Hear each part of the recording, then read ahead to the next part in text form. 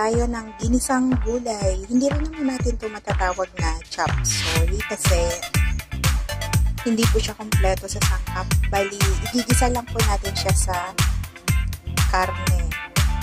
Uh, ang pinili ko pong isahog dito is yung pork collar para malambot po siya. Hindi na natin kailangan igisa siya ng matagal. First thing na ginawa ko po is ito po, ito po ako ng bawang, sibuyas, tapos ito po yung uh, pork collar. Pinislice ko po siya ng maninipis para madali lang po siya maluto. At saka, next po is itong sweet peas.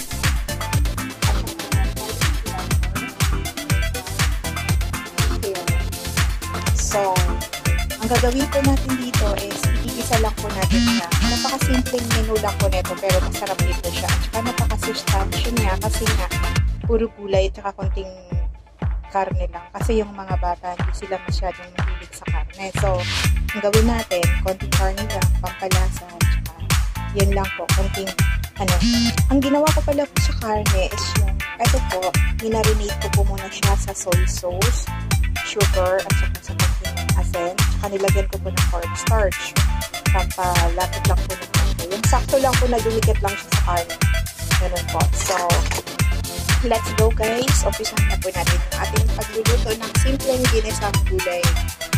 Okay, the first step we need to do is just pour out some little bit for oil. And then, wait it until hot. Painitin po muna natin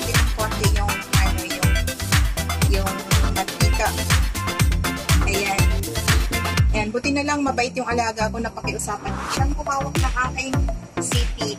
Ayan. Lagay na po natin yung garlic. Gawin po natin until it will brown. Oh, so it smells nice. Yeah, kasi say it smells nice already. So, ayan. Next po natin is yung sibuyas.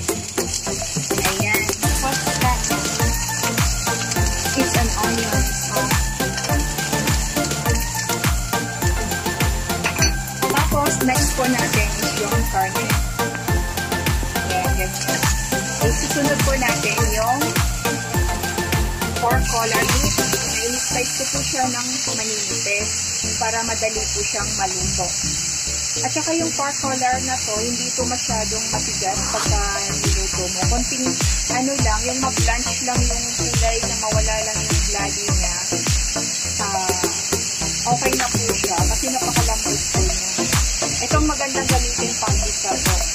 collar. I-slice mo po siya ng maliit. Ayan. Wait po natin until maging brown po yung kulay ng karne. Tapos ang una ko pong ilalagay is yung yung carrots po kasi ayaw ng mga bata ng carrots na matigas. Gusto nila yung. Kaya ang carrots po ang natin. Tapos yung sweet po, mas maganda pag half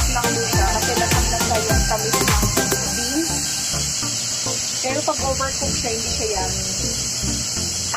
Ayan, next po natin ilalagay is yung, lagyan po natin siya ng konting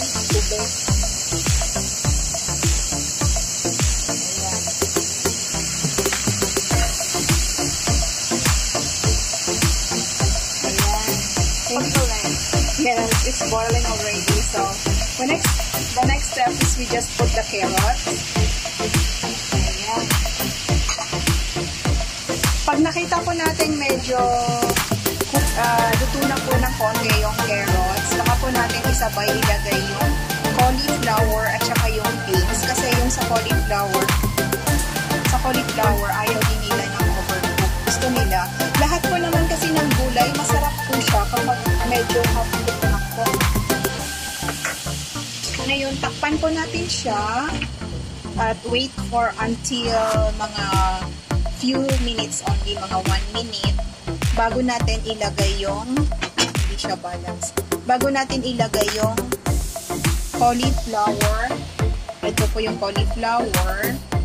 Tsaka yung beans, yung sweet peas po. Yan. So, wait po tayo ng mga few minutes lang. Tapos, saka po natin ilagay yung cauliflower.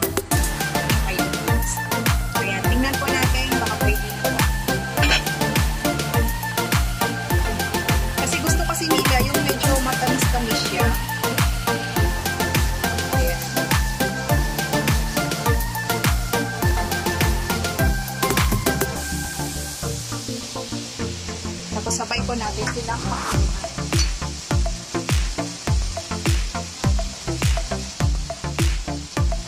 Lagyan ng konting tubig para ma-soft yung gulay. Hindi po tayo expert sa pagluluto, pero masarap naman po siya. Ilang beses ko na itong niluluto at nagustuhan po siya ng mga bata. So, pwede na po natin ilagay yung ating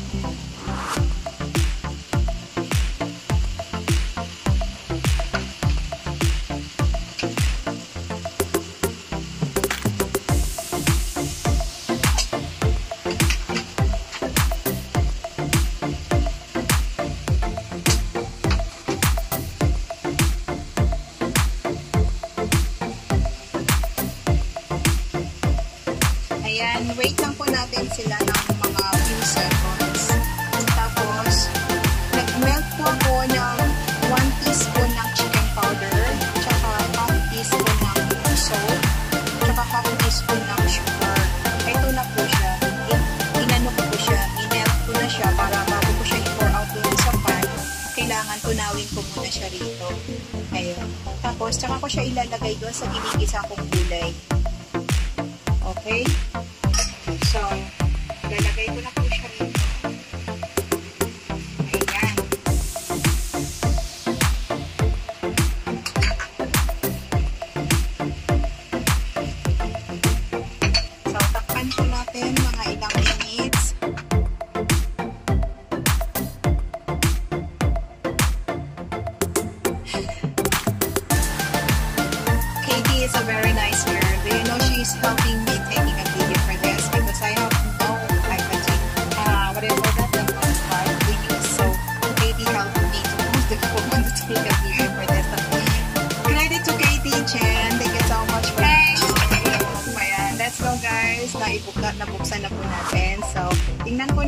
Pwede na po natin ihalo yung ating sweet peas na beans. Ayan. Yan, lagay na rin po natin yung sweet peas. Kasi gusto, po kasi nila yung ano lang siya, half cook lang po. Ayaw nila ng overcook. Wala daw lasa.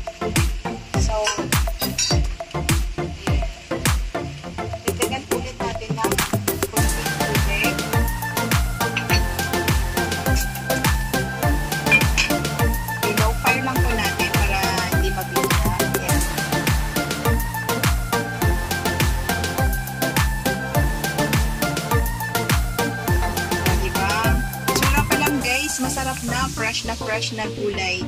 Talagang napaka-suitable for kids kasi napaka masustansya po niya. Konting seasoning lang ang inad natin para hindi siya ano sa mga bata, hindi nakaka-hurt sa.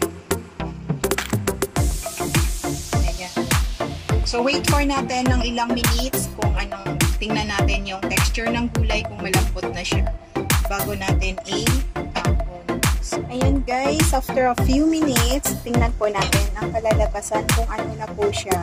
Tingnan natin kung ano na, yeah, I need your help. So, uh, tingnan po natin, natikman po natin yung lasa kung ano na siya. Just my best cut, no need ko muna. Ah, tikman po muna natin yung lasa kung ano po yung kulang para malimplahan po ulit natin.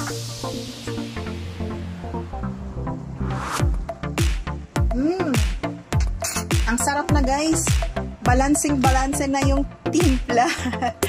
so, yes, so very yummy. I like these vegetables and I, did, I just only want to eat like this and I don't want any rice or any noodles for this. I just only want to eat all the vegetables.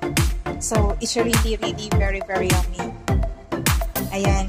Medyo, ano na guys, wait lang nga, tingnan ko lang kung let's study that one. Ayan, tingnan ko lang po kung malambot na yung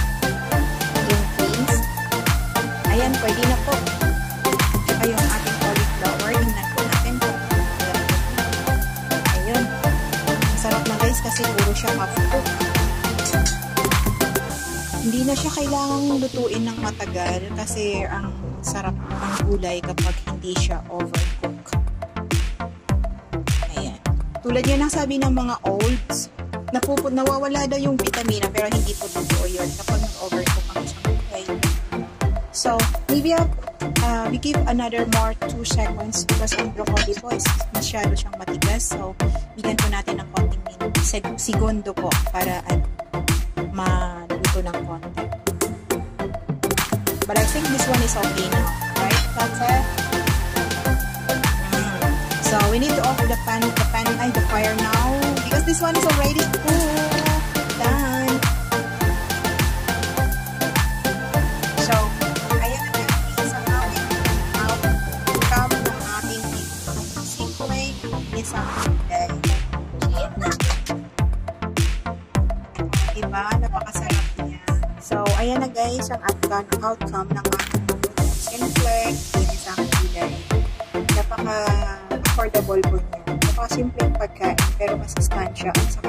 affordable food for the kids po talaga siya. Sana po mag-enjoy po kayong manood ng aking vlog about sa simple ingredients ang gulay para sa simple pagkakita. Okay, if you're watching till next video guys about Thank you all